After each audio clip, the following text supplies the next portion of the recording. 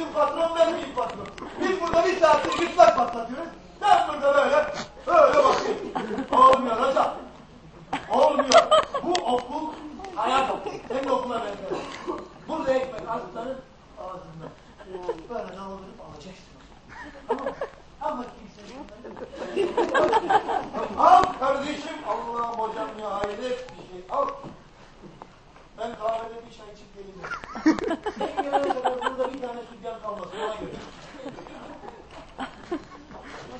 Yoksa sana takar.